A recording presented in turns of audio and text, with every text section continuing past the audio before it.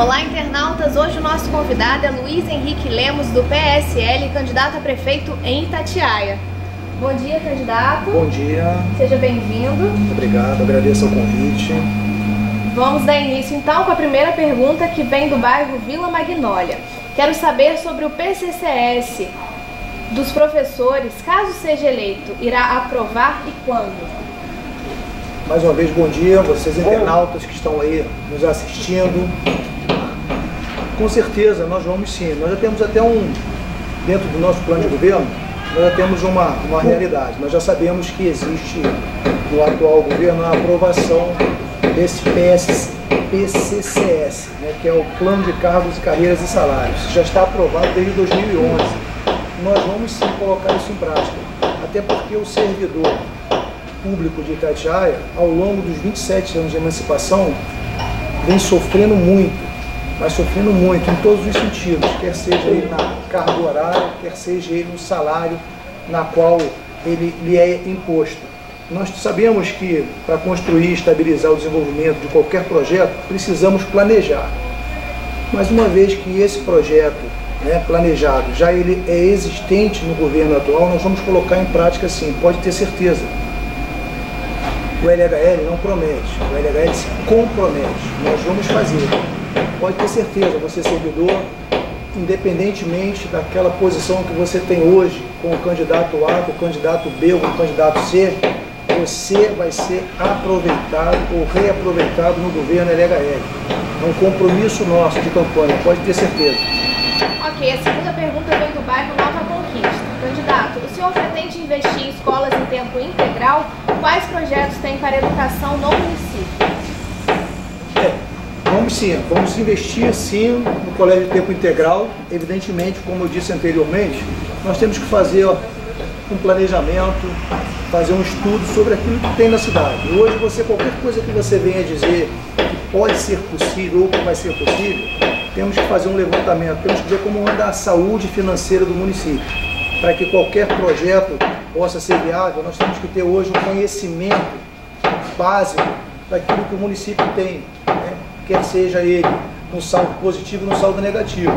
Agora, dentro do nosso projeto, plano de governo, o colégio tempo integral é fato, nós vamos fazer sim, mas vamos fazer com que outros colégios voltem a funcionar. Nós temos colégios hoje com obra parada, paralisada. Vamos dar continuidade a essas obras. Vamos também ver dentro dos bairros a necessidade de colocarmos colégios mais próximos, porque existe uma, uma defasagem, uma de, de, de translado muito grande, as crianças sofrem muito porque moram em bairros distantes. Então nós vamos fazer um levantamento dentro de um planejamento para ver a possibilidade de termos novas escolas mais próximo dos bairros, para que evitem esse transtorno, sabe, de, de, de, de translado porque as crianças sofrem, não tem professores ou atrasou o motorista, então nós vamos ver de que forma fica mais fácil e viável né, para a gente solucionar isso. Agora, a escola de tempo integral pode ter certeza, está dentro do nosso planejamento e vai acontecer dentro daquilo que for possível. Ok, a terceira pergunta vem do centro. Quero saber do candidato quais são seus projetos para a cultura. Então, a cultura na cidade de Itatiaia é uma coisa complexa. Existe uma Secretaria de Cultura, mas a gente não percebe o andamento da cultura de uma forma cristalina, a gente não percebe as coisas acontecer dentro da cidade. Nós vamos sim, nós vamos fomentar né, a, as pessoas que trabalham com artesanato, né, os profissionais informais, todos os profissionais do segmento que nós temos na cidade vai ter oportunidade na cultura. Nós temos que fomentar essa condição, porque são profissionais que vivem à margem né, da nossa cidade. E são talentosos, tem profissionais na área do canto, é, na área é, é, de instrumentais e não são aproveitados. Nós, nós não temos hoje, dentro da cultura, nenhum projeto atual para que desenvolva isso. E nós vamos criar isso. Nós vamos dar oportunidade aos jovens. Queremos tirar novos talentos da de Itatiaia. E tem potencial para isso. Você pode ter certeza, a cultura no governo LHL vai funcionar, mas vai funcionar de fato. De fato. Eu acredito ser o único candidato que possa falar né, em perspectiva, porque eu não participei de governos anteriores, então por isso nós somos ficha limpa. E por ser ficha limpa temos essa esse crédito com você de dizer vamos fazer. E isso vai acontecer. Ok, a quarta pergunta vem do bairro Vila Niterói. Qual o seu projeto para a geração de empregos em Itatiaia?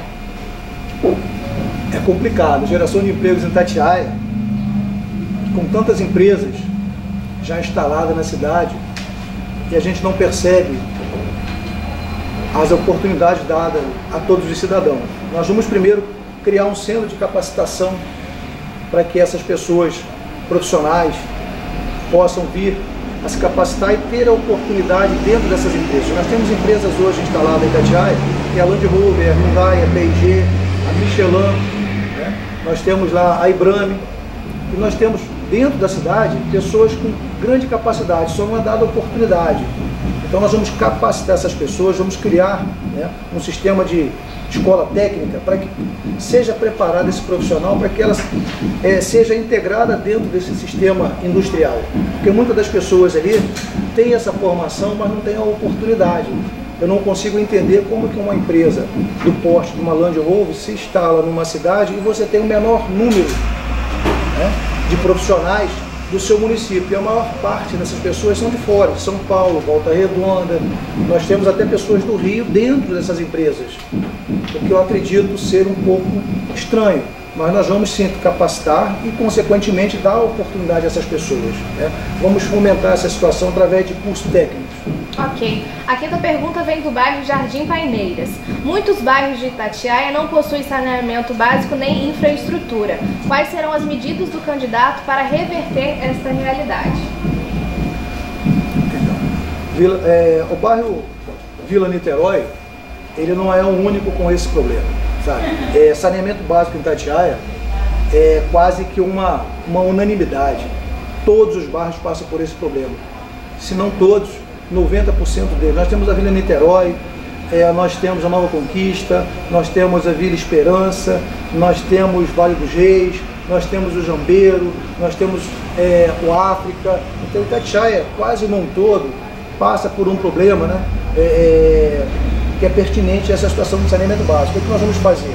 É um levantamento, um planejamento para que você venha, né, porque isso é o que é de direito não é favor. Nós vamos fazer as coisas acontecerem. Né? Dentro do nosso governo tem que funcionar os pilares. O saneamento básico é uma delas. Né? Você tem que dar dignidade às pessoas, realizando. Então nós vamos ver de que forma e como vai ser feito. Agora, saneamento básico na cidade tem que ser feito. Isso é, é infraestrutura.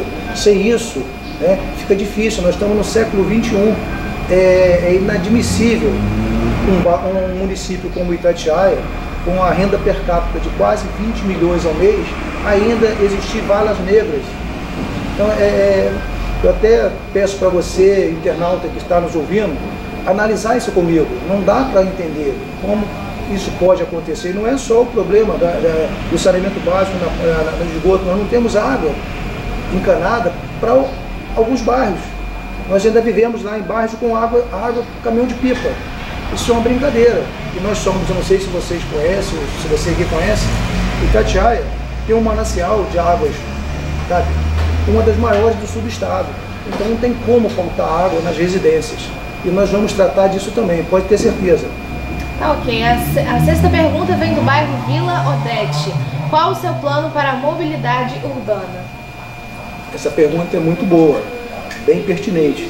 Em 27 anos de emancipação, nós não temos essa mobilidade dentro de Itatiaia. Ontem, em uma reunião, por incrível que pareça, nós estávamos conversando sobre isso.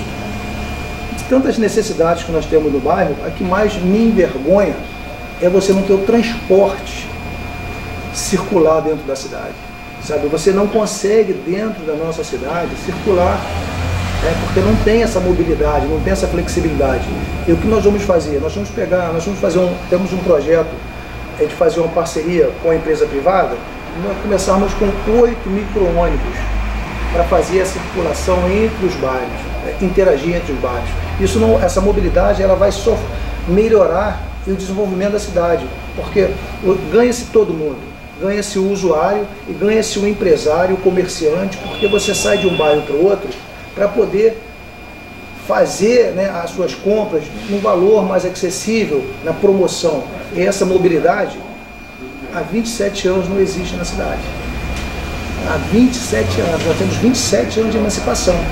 E isso vai acontecer, porque eu acho um desrespeito a todo cidadão de Itatiaia. Não sei se você conhece Itatiaia, mas Itatiaia hoje, se você não tiver carro, você não anda. Você não tiver moto, você não anda. É imposto para você a necessidade de circular a pé.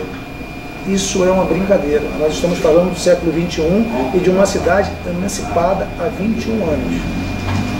Vai acontecer essa mobilidade. Transporte, LHL vai fazer. A sétima pergunta vem do bairro Nova Conquista. Itatiaia sofre em diversos lugares, até mesmo turísticos, com problemas no asfalto que acabam afastando os turistas e prejudicam os moradores. O senhor, em seu plano de governo, é, teria uma solução emergencial e eficaz para isso? Então, a pergunta é: Itatiaia sofre com diversos lugares, até mesmo com, né, com, com pontos turísticos, com problemas de asfalto. Isso aí ela vai dentro da, da, da infraestrutura do, do, saneamento. Você tem que dar a uma infraestrutura.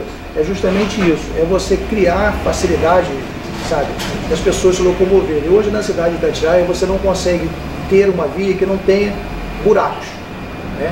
E dentro do nosso, dentro daquilo que nós nos propomos a fazer, nós vamos entrar com um choque administrativo, choque de gestão, a qual nós vamos tapar a princípio todo e qualquer buraco na cidade para que a gente possa respirar e ganhar tempo para vir com um projeto de urbanização permanente. Né? Então nós temos que hoje sanear essa situação. Em, em contrapartida, é, turismo, né? E o turista não consegue circular na cidade até porque nós não temos muita coisa a oferecer no turismo. Né? Nós temos bairros com potenciais incríveis, mas nunca foi explorado. Então nós não temos de fato turismo na cidade. Né? Nós temos alguns pontos atrativos. O turismo vai ser criado a partir do governo NHL. Você pode ter certeza. Existem bairros com potenciais incríveis. E a gente vai dar essa facilidade, a gente vai criar esse mecanismo para que o cidadão que vá e venha nos conhecer tenha a mesma satisfação de quem reside na sua cidade ou na nossa cidade. Então vai ser dessa forma. A eficácia da situação vai depender muito daquilo que nós vamos encontrar hoje dentro do governo. Existe uma, uma, uma dívida é, bastante significativa hoje dentro do município. Então qualquer coisa que a gente diga tem que ser a, a nível é, de médio a longo prazo, porque nós temos que hoje, primeiro, sanear essa dívida. É uma dívida bastante significativa, em torno de 60 milhões, sabe, é o valor da dívida hoje da cidade. Então nós vamos fazer, pode ter certeza.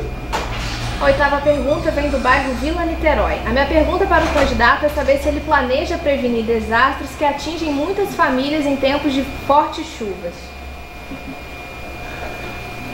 É interessante essa pergunta, né? É, se o candidato de, deseja, como é que é? Planeja prevenir desastres que atinjam as famílias. Olha só, prevenir os desastres, se for ele da, de, de cunho da natureza, fica meio difícil Agora, nós vamos dar, sim, toda a assistência né, cabível de direito a essas pessoas que forem atingidas por tempestades de granizo, vendavais, né, porque esse é o mínimo que nós temos que dar para as pessoas, é dignidade, é dar uma assistência a essa situação.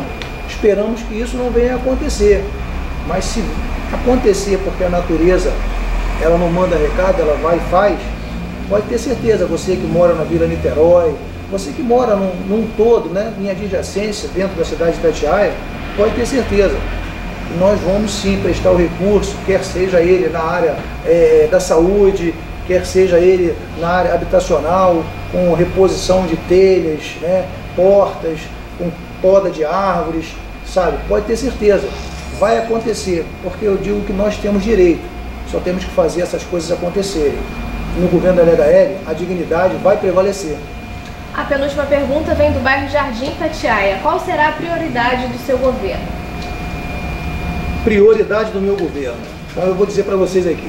Nós vamos fazer os pilares funcionar. Quais são os pilares? Saúde, educação, transporte, turismo, esporte e lazer, empregabilidade, saneamento básico e os servidores públicos também né? Eles terão planos de cargos e salários, né? além de ter os seus valores reconhecido. Então, dentro daquilo que foi perguntado, se esses, cinco, se esses pilares funcionarem, tudo funciona na cidade. Hoje nós não temos saúde, educação, transporte, não temos saneamento básico, nós não temos segurança, nós não temos isso. Então, o compromisso do nosso governo é fazer esses pilares funcionarem, que não funcionam hoje.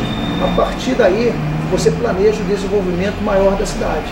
Então você que está nos ouvindo pode ter certeza, nós vamos colocar a cidade de Itatiaia dentro daquilo que nós sonhamos e buscamos e merecemos, uma cidade em excelência, pode ter certeza. A última pergunta vem do centro. A criminalidade é uma preocupação de toda a população e nós sentimos falta de um investimento de verdade na área de segurança em Itatiaia. Candidato Luiz Henrique, o que tem no seu plano de governo para este serviço? Então, a criminalidade não é um privilégio da cidade de Itatiaia. Né? A criminalidade é, um, é, uma, é uma doença né, no país de uma forma geral. Agora, Itatiaia, por ser uma cidade menor, você consegue combater direto e indiretamente né, a criminalidade. Desde que você né, faça a segurança de uma forma bastante eficiente, através de câmeras, sabe? É o que já é hoje usado em muitas cidades, né, você ter as câmeras, que as câmeras ela não vai proibir né, a, a, a efetivação do crime, mas ela vai coibir e, consequentemente, você colocar né, a nível de, de, de logística mais PMs fazendo ronda na rua, mais guardas municipais né, com monitoramento, com acesso, e você fazer uma parceria mesmo né, com a, a, a guarda municipal, com a PM, para que você consiga inibir isso. Mas para você é, é, radicalizar essa situação, nós temos que dar para esses jovens, para essas pessoas, a oportunidade de elas fazerem, se ocupar com alguma coisa. E nós vamos fazer dentro do nosso projeto, dentro do nosso planejamento de governo, está a integração entre a educação e o esporte. As pessoas têm que ter sabe, a oportunidade de fazer alguma coisa. Né? Quando você está ocioso em uma cidade, né, a proposta para que você faça algo que não é satisfatório é muito grande. Então, o governo tem que oferecer possibilidades. Só dessa forma ou desse jeito é que nós vamos coibir de fato né, é a criminalidade em Tatiaia pode ter certeza, nós vamos fazer com que isso tudo venha a acontecer. Pode acreditar. Ok, candidato, muito obrigada pela sua participação, boa sorte. Boa sorte. Encerrando a rodada de entrevistas, daqui a pouco o candidato Wesley Brito, do PCdoB de Barra Mansa, estará na redação do Diário do Vale. Fique ligado, é o Diário do Vale na cobertura das eleições 2016.